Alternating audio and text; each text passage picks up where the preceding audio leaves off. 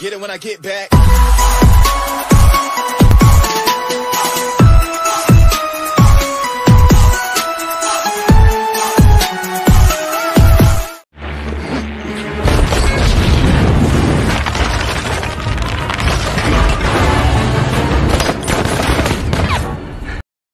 Selamat datang di Crystal News. Kali ini saya akan merangkum film yang berjudul Killer Elite. Film ini tentang balas dendam seorang pembunuh bayaran demi menyelamatkan seorang sahabatnya.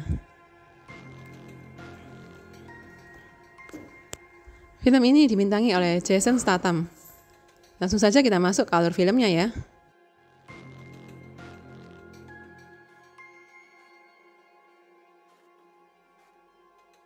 Film berawal ketika beberapa orang tentara bayaran yang dipimpin oleh Johnny menyergap target di jalan.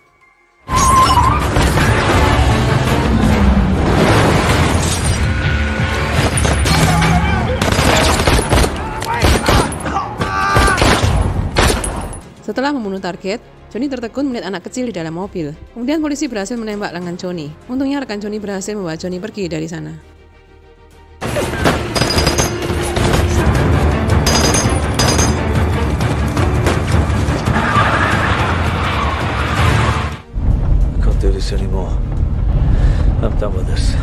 Setahun kemudian, ketika Johnny terbangun, ia mendapat sebuah berkas berisi foto Hunter yang ditangkap seseorang. Setelah itu, Johnny langsung pergi ke Oman untuk menyelamatkan Hunter sahabatnya.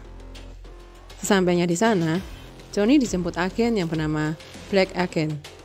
Black memberi misi kepada Johnny untuk membunuh seseorang. Jika Johnny berhasil menyelesaikan misi ini, Hunter akan dibebaskan dan Johnny mendapat imbalan 6 juta dolar. Kemudian Johnny menemui klien yang bernama Sheikh Amy yang memberitahu kalau ketika anaknya telah dibunuh oleh anggota SAS. Amy memberi tugas kepada Johnny untuk membunuh target yang telah membunuh anaknya yang berada di Inggris tanpa meninggalkan bukti dan harus seperti kecelakaan.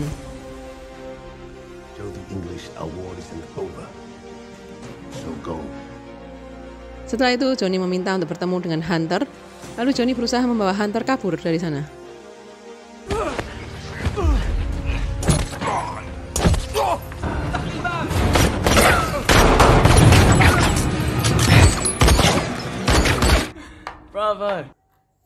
Namun sayangnya mereka tertangkap oleh Bahit, anaknya Amy. Dengan terpaksa, Johnny menyetujui tawaran demi menyelamatkan Hunter. Johnny langsung pergi ke Paris menemui dua rekannya, Davis dan Mayer. Yeah, mate. You still got it. You still got it. Johnny menjelaskan misi mereka untuk membunuh target anggota SAS. Johnny berjanji akan memberikan uang 6 juta dolar untuk mereka berdua. Karena Johnny hanya ingin menyelamatkan Hunter. Setelah itu Johnny memberitahu target mereka bernama Haris.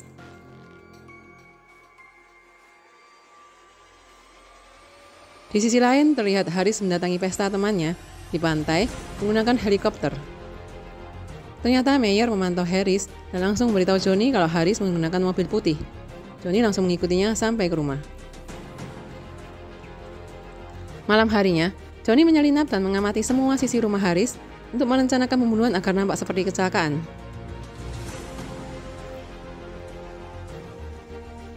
Sementara Davis sedang menyamar untuk mencari tahu tentang Murab, namun pembicaraan itu terdengar oleh salah satu agen SAS yang bernama Basar. Basar langsung memberitahu atasannya bernama Spike.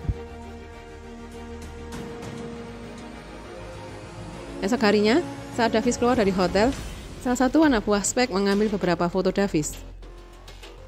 Setelah itu, Spike memberitahu para atasan SAS tentang Davis. Mereka mengatakan, kita sekarang hanya mantan pasukan SAS. Yang kita lakukan di sini ilegal, jadi selidiki semuanya secara rahasia. Spike langsung pergi menemui rekannya, lalu mereka pergi menuju Oman untuk mematai sese- seseorang. Berpindah ke Johnny bersama rekannya, mereka mengambil sebuah palu yang sudah ditempel keramik kamar mandi. Hari di sana anak buah Spike memotret mereka semua.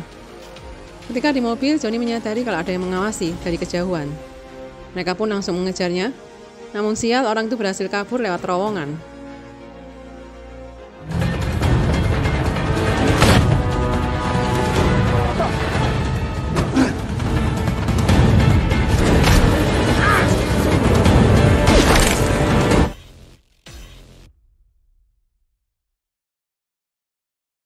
Johnny dan Mayer menjalankan rencana mereka untuk membunuh Haris dengan pura-pura sebagai penulis untuk mewawancarai Haris. Di tengah wawancara, Johnny langsung menodongkan senjatanya. Mereka akan membunuh Haris dengan merancang seperti kecelakaan di kamar mandi. Di depan kamera, Haris mengatakan seseorang telah membunuh Husin, yaitu penulis sebuah buku tentang Omen. Di buku itu, Johnny bisa menemukan pelakunya. No, wait, wait, wait. To the bathroom. Saat akan membunuh Haris, ada yang mengetuk pintu dan ternyata yang mengetuk pintu adalah pacar Haris. Setelah pacar Haris sudah pergi, terdengar suara pukulan saat Johnny masuk, ia melihat Haris sudah tewas, dibunuh oleh Mayer dengan palu yang mereka siapkan. Kemudian Johnny naik pesawat menuju London untuk membunuh target selanjutnya. Di tengah perjalanan, Johnny kembali teringat masa indah bersama istrinya.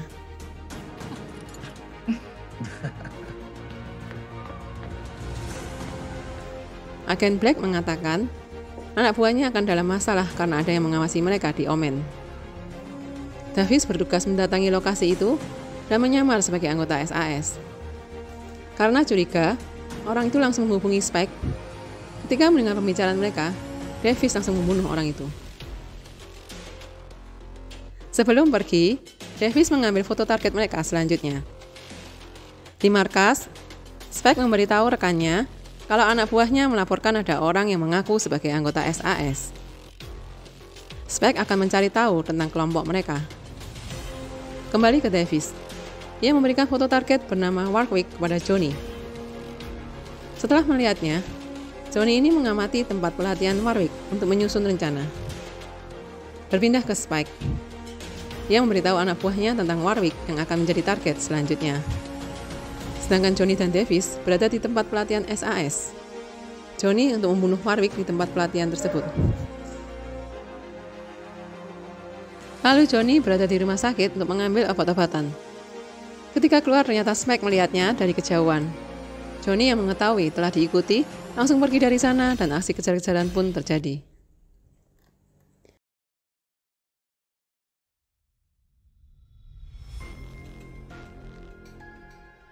Johnny kembali ke rumah sakit dan Spek terus mengejarnya. Namun tiba-tiba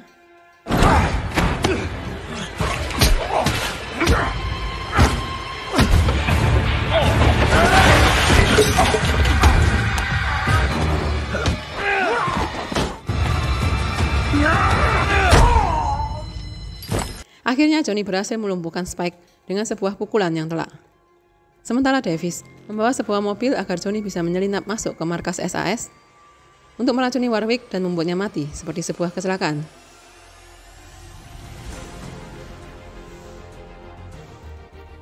Johnny menyamar menjadi anggota SAS dan meracuni minuman Warwick yang ditemukan tewas saat sedang melakukan latihan militer.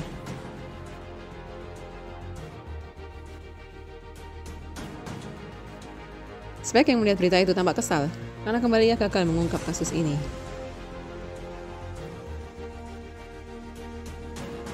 Agen Black kembali datang dan memberi Johnny informasi sasaran terakhir mereka yang bernama Mayor Simon.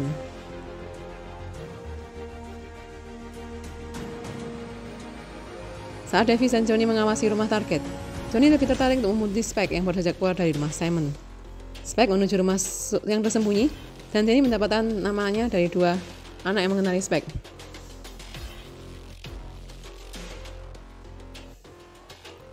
Sedangkan Davis menghubungi Simon untuk memberinya sebuah wawancara penawaran pekerjaan. Seorang pria yang bernama Whitefish baru saja turun dari helikopter dan dia adalah seorang pengawas dari kelompok mantan anggota SAS. Di sini Spek meminta bantuan organisasinya untuk melindungi Simon yang diketahui menjadi target ketika para pembunuh profesional ini. Namun permintaannya ditolak oleh kelompoknya, dan Spek yang kecewa memutuskan untuk keluar dari kelompok mereka.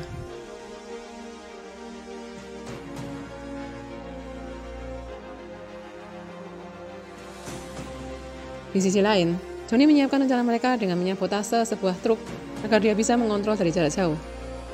Dalam misi ini mereka merekrut anggota baru bernama Jack. Esok harinya, mereka langsung menjalankan rencana membunuh Simon. Namun tiba-tiba anak buah Spek tuh sudah berada di sana. Sam Mayer yang langsung mengejarnya.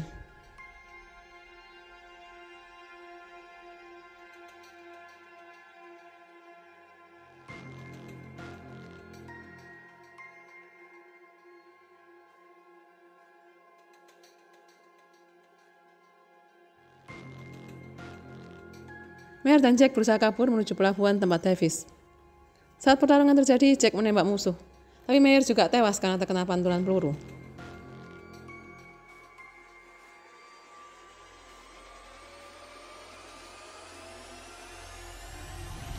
Setelah kejadian itu, Johnny memeriksa mobil musuh dan menemukan radio di sana. Ia meminta Jack untuk memasang radio tersebut ke mobilnya.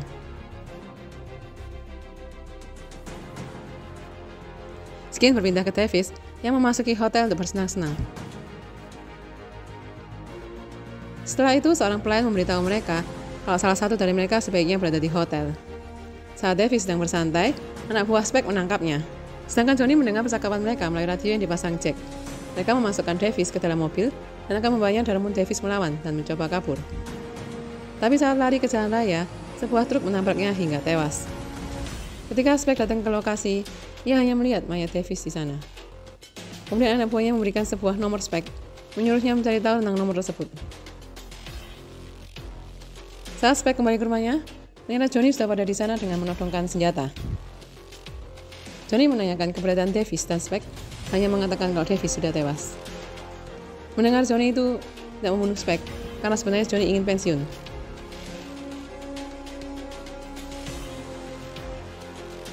Setelah menyelesaikan misi Johnny, menemui Amy untuk menagih janji. Amy menepati janjinya dan membebaskan Hunter. Setelah itu mereka langsung pergi dari sana. Dan Johnny pun mulai menemui istrinya. Ia berjanji tidak akan pergi lagi meninggalkannya.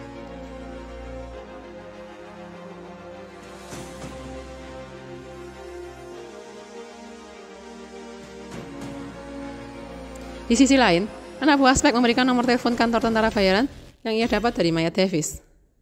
Saat Johnny di rumah, agen Black menelpon Johnny dan mengabari kalau ia telah salah membunuh orang tapi ia tidak ingin melakukannya lagi. Agen Black memberitahunya tentang Annie, istri Johnny. Johnny langsung pergi ke kamar Annie dan menemukan sebuah peluru di sana. Malam itu juga Johnny mengajak Annie pergi ke Paris untuk bersembunyi. Esok harinya Johnny bersiap melakukan pekerjaan terakhirnya. Johnny berjanji kepada Annie kalau ia pasti kembali.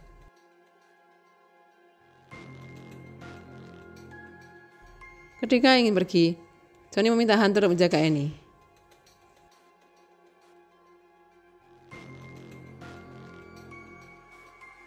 Lalu, John menemui Behit dan langsung menghajarnya. Johnny marah karena Behit telah mempertanyakannya dengan memberi target yang salah untuk dibunuh. Namun Johnny tetap menerima tugas terakhirnya.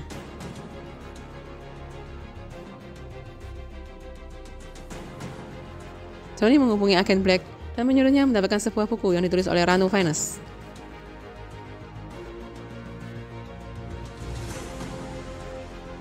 Ketika bertemu, agen Black memberikan buku tersebut. Tanpa mereka ketahui, Spek sedang mengawasi lewat CCTV. Kemudian Spek memberitahu semua anak buahnya untuk menghajar Johnny.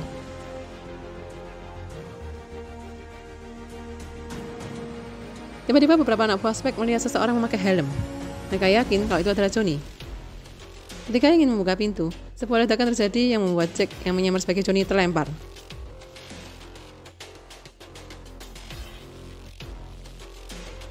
Spek dan semua anak buahnya terkejut saat mengetahui orang itu bukan Johnny, tapi Jack. Ternyata Johnny merencanakan itu sebagai pengalihan. Sementara Johnny memasuki ruangan tempat Vince bersembunyi dan ia langsung menembaknya. Setelah memotret Vince, Johnny langsung pergi. Saat melihat Johnny kabur, Spek dan anak buahnya langsung mengejarnya.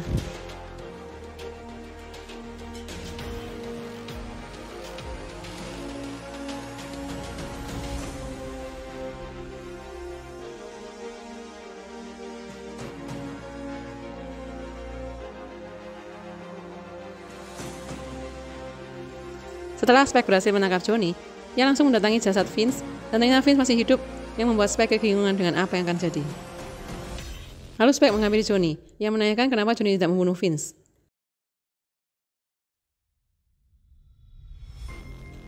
Johnny menjelaskan kalau ia ingin berhenti dari pekerjaan ini. Johnny juga memberitahu kalau dalang dari semua ini adalah Amy, yang berada di Oman.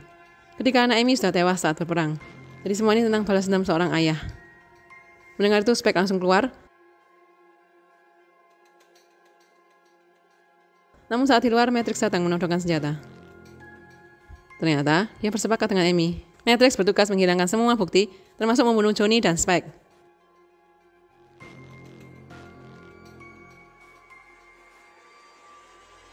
Ketika mendapatkan momen itu, Johnny langsung menghajar Matrix.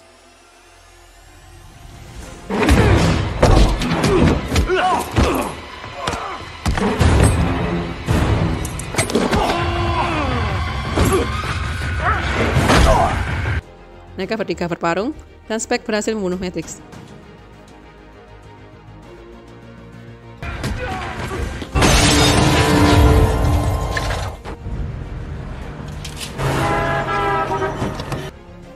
Sedangkan Johnny kabur dengan melewati lewat jendela.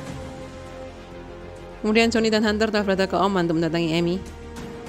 Ternyata Spike lebih dulu menemui Amy dan memberikan bukti foto pembunuhan itu.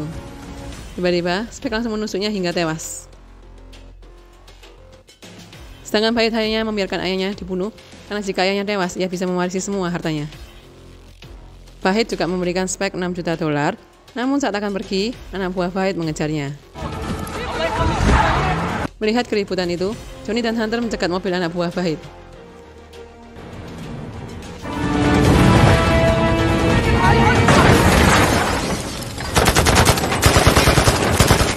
Akhirnya mereka berdua pun mengejar Spike sampai ke tengah gurun.